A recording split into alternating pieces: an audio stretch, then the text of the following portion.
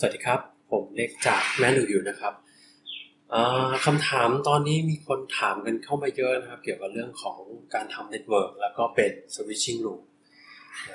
switching loop ก็คือการต่อสวิตช์นะครับที่เป็น layer สองต่อเข้ามาหากันเป็นวงกลม หรือเข้ามาหากันในลักษณะที่เป็นพวก mesh configuration นะครับคือสวิตช์เนี่ยจะมีข้อกำหนดอยู่ว่ามันจะต้องต่อกันโดยเป็นเส้นเส้นตรงเป็นลีเนียเท่านั้น นะครับเราก็ต้องมี start มี end นะครับถ้าต่อเข้ามาเป็นวงกลมเนี่ยเราจะเรียกมันว่าเป็น loop เป็น switching loop ก็คือเป็นเทคนิคอย่างหนึ่งของ layer 2นะครับซึ่งโดยปกติแล้วเนี่ยการทำงานของตัวสวิตช์นะครับใน layer 2 ก็จะมีเทคนิคในการป้องกัน loop อยู่แล้ว เราเรียกมันว่า spanning tree spanning tree protocol ไม่ว่าจะเป็น standard spanning tree protocol นะครับ เป็น rapid spanning tree protocol หรือว่าจะเป็น multi VLAN spanning tree protocol ก็ตามนะครับ เทคนิคต่างๆ พวกนี้ใช้สำหรับการป้องกันนะครับ ทีนี้ก็จะมีคนสงสัยกันมาเยอะนะครับว่าในการทำลูปนะครับผมก็จำลองตัวอย่างให้ดูนะครับที่มีคนถามมาก็คือ ภายในอุปกรณ์ตัวมันเองนะครับ ถ้าเราเอาสายแลนนะครับเสียบที่พอร์ตหนึ่งนะครับแล้วก็ปลายขายปลายสายอีกข้างหนึ่งมาเสียบอีก port หนึ่งของสวิตช์นะครับจะ loop หรือไม่คิดว่าไงครับ loop หรือไม่ loop loop หรือไม่ loop ผมเองก็ตอบไม่ได้นะครับ ว่า loop หรือไม่ loop การที่มันจะ loop หรือไม่ loop นั้นมันขึ้นอยู่กับชนิดของตัวตัวสวิตช์นะครับ ว่าเป็นสวิตช์ชนิดไหนรูปแบบไหนมีโปรโตคอลในการป้องกัน loop ที่แข็งแรงแค่ไหนนะครับ ในการทำงานที่ผมเคยเห็นมาหลาย ๆ ครั้งนะครับ การป้องกันลูปที่แข็งแรงมากที่สุดที่ผมเห็นก็คือของ Cisco เป็นสวิตช์ยี่ห้อ Cisco ก็จะเป็นรุ่นของ Catalyst นะครับสวิตช์ Catalyst Cisco ไม่ว่าจะเป็นรุ่น 2009นะครับ2009 2950 2960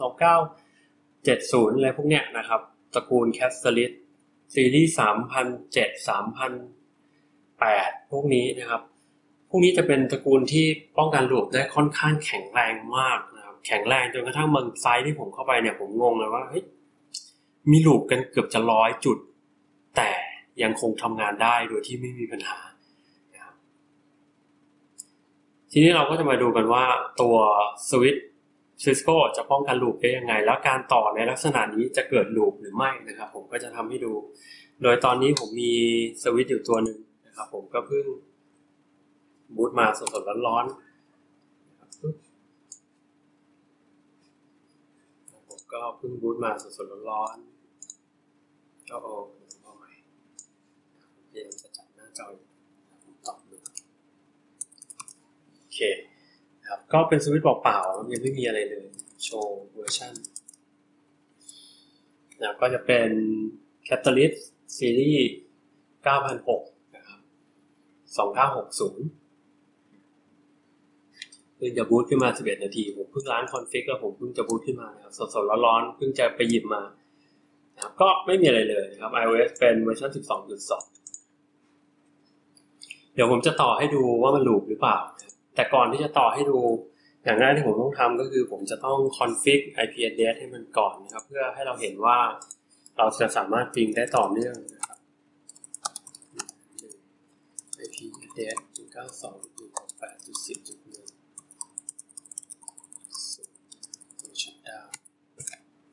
ดี๋ยวผมขอคอนฟิกตัวอินเทอร์เฟซ Ethernet ผมด้วยนะครับปึ๊บ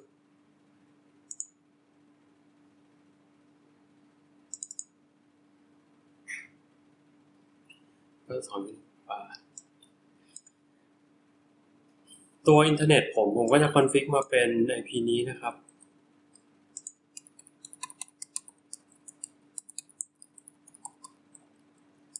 โอเค ผมก็จะ config มาเป็น IP นี้ก็คือ 192.168.10.2 นะครับ บนสวิตช์ผมเป็นจุด10จุด1โอเคเลยโอเคนะครับผมจะลอง ping จากเครื่อง PC ผมนะ192.168.10.1นะครับ ping ค้างไว้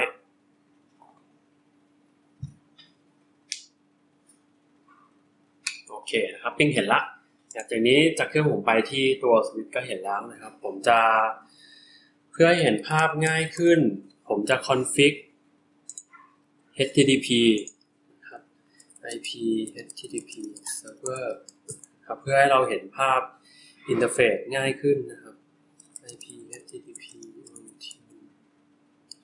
authentication local โอเค username admin ครับ privilege 15 password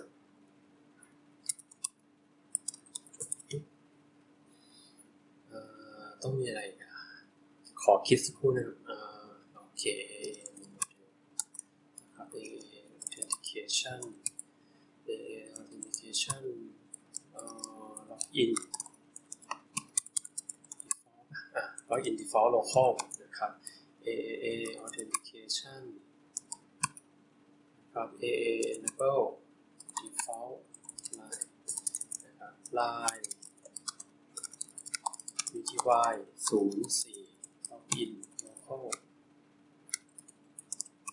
ครับ login local login authentication default โอเคมีอะไรไหมครับที่ผมต้องทำ น่าจะได้แล้วนะครับ เดี๋ยวผมลองเปิดเบราว์เซอร์ดู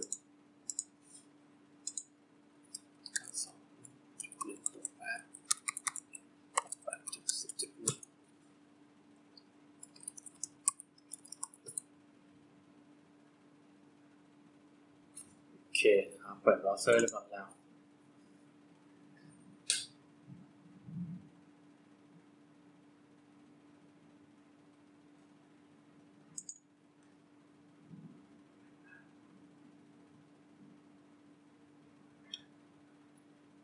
รอสักแป๊บนะครับ รอเบราว์เซอร์ทำงานขึ้นมาก่อนผมไม่จำเป็นนะครับ ก็เราจะเห็นว่าอุปกรณ์ตัวนี้ต่ออยู่ port เดียวนะครับ ก็คือ port 13 นะครับ ก็คือพอร์ตที่ PC ผมต่อเข้าไปนะครับทีนี้เดี๋ยวผมจะเสียบสายไขว้กันนะครับ ที่ port 1 กับ port 3 นะครับ แล้วดูว่าเกิดอะไรขึ้นนะครับ แล้วก็ยังดูว่า ping ยังคงหลุดหรือเปล่านะ ping ยังคงทำงานต่อเนื่องหรือเปล่า เค ผมจะเสียบเลยนะครับ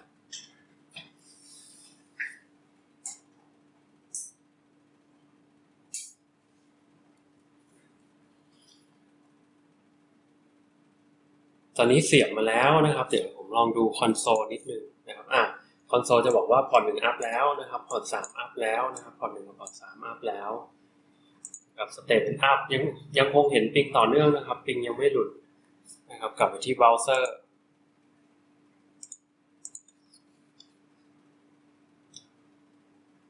no link นะครับเบราว์เซอร์ยังขึ้น no link อยู่อาจจะต้องรอสักหน่อยนะครับว่ามันต้องรอสถานะของตัว interface มันทำงานแต่ยังเห็นว่ามันยังคง ping ต่อเนื่องนะครับ ยังไม่หลุด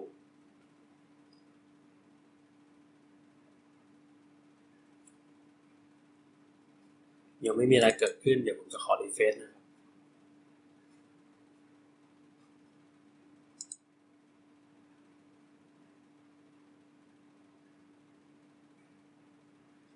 บางทีตัวบราว์เซอร์ตัวนี้ซึ่งมันใช้ JavaScript มันอาจจะทำงานช้าอะมาแล้วนะครับปุ๊บสังเกตเห็นไหมครับว่าพอร์ต3ถูก disable นะครับพอร์ต1ยังคงเป็น forwarding state ยังคงทำงานปกตินะครับจะเห็นว่าถ้าถ้าเป็นสวิตที่เป็น enterprise grade อย่างตัวเนี้ยที่เป็น 2009 2960 จะเสียบอย่างนี้คือจะไม่มีปัญหาไม่ลูปต่อให้ซับซ้อนกว่านี้ก็ไม่ลูปนะครับ สังเกตไหมครับว่าไม่หลุดไม่มีปัญหาเลยครับผมลองดูในคอนโซลนะครับ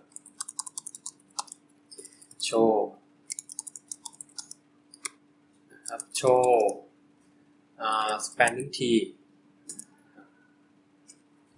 สังเกตไหมครับว่า port 1 forwarding state port 3เป็นบล็อกนะครับไม่ได้ใช้งาน อย่างนี้ก็คือไม่หลุดนะครับนี้ถ้าอย่างนี้หลายคนอาจจะมีคำถามว่าถ้าอย่างนั้น เกิดใช้ portfast ล่ะจะหลุดไหมนะครับ portfast หลายคนเข้าใจว่ามันคือการ disable spanning tree แต่จริงไม่ใช่นะครับ portfast ไม่ใช่การ disable spanning tree portfast โดยคำนิยามของมันคือการข้าม state ของ spanning tree ผมจะถอดออกก่อนนะครับ ผมถอด port หนึ่งกับ port สามออกนะครับ มัน shutdown ไว้แล้วนะครับผมจะคอนฟิกให้มันเป็นพอร์ตฟาสนะครับ interface length f 0ทับ1ถึง 3นะครับ spanning t พอร์ตฟาสพอร์ตผมเป็นพอร์ตฟาแล้วนะครับ ผม show run ให้ดู show run นะครับ interface ได้หรือเปล่าไม่รู้ไม่น่าได้เลย show run เต็มๆแล้วกันนะครับจะสังเกตว่า port หนึ่งกับ port สามผมเป็น portfast แล้ว ผมจะเสียบอีกรอบนะครับ แล้วสังเกตดูการ ping โอ เค ผมเสียบแล้วครับ ก็คงยังคง ping ปกตินะครับปึ๊บ port หนึ่งขึ้นมาแล้วนะครับ port สามขึ้นมาแล้ว สังเกตว่าเห็นมี MAC flapping ก็คือมีการ loop ช่วงระยะเวลาหนึ่งสั้น ๆนะครับ อันนี้ก็คือ timeout ที่เกิดจาก loop หลังจากนั้นมันจะ protect ตัวเองเห็นไหมครับ แล้วก็ทุกอย่างกลับมา ping ปกติแล้วเหมือนจะ loop อีกรอบนะครับลองรอสักพักนะครับอ๋อโทษ เพราะไม่ใช่ loop อีกรอบมาผมไปไฮไลท์มันมันก็เลย disable ไป ก็คือไม่ลูปนะครับผมโชว์ spanning t อีกครั้งนะครับสังเกตว่า port สามถูกบล็อกเห็นไหมครับport หนึ่งเป็น forwarding state ครับผมกลับไปที่ตัว browser นะครับผม refresh อีกรอบหนึ่งเพื่อให้เห็นค่าปัจจุบัน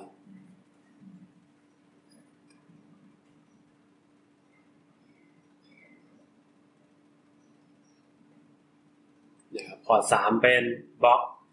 disable นะครับพอร์ตหนึ่งเป็น forwarding ทุกอย่างทำงานปกตินะครับจะเห็นว่าการต่อในลักษณะนี้เนี่ยนะครับการต่อในลักษณะนี้คือไม่จำเป็นที่จะต้องเกิดลูปเสมอไปขึ้นอยู่กับความสามารถของตัวอุปกรณ์นะครับว่าตัวอุปกรณ์เนี่ยมีความสามารถในการป้องกันลูปมากน้อยแค่ไหนนะครับตัวอุปกรณ์สามารถที่จะ protect loop หรือว่า calculation loop ได้เร็วแค่ไหนนะครับ ถึงแม้เราจะ enable ที่เป็น port fast ก็ไม่ได้ทำให้เกิด loop โอเคนะครับ ก็คลิปนี้ก็คงเป็นคลิปสั้นๆ โชว์ให้ดูเฉยๆว่าการต่อในลักษณะนี้ไม่จำเป็นต้องลูปเสมอไปนะครับ ขึ้นอยู่กับความสามารถของตัวอุปกรณ์ก็ถ้าสงสัยก็ทิ้งคำถามไว้ใน Facebook Fanpage ได้นะครับ หรือทิ้งคำถามไว้ใน YouTube ก็ได้นะครับ ก็จะทยอยเข้ามาตอบให้ ขอบคุณครับ แล้วเจอกันใหม่ในคลิปหน้า สวัสดีครับ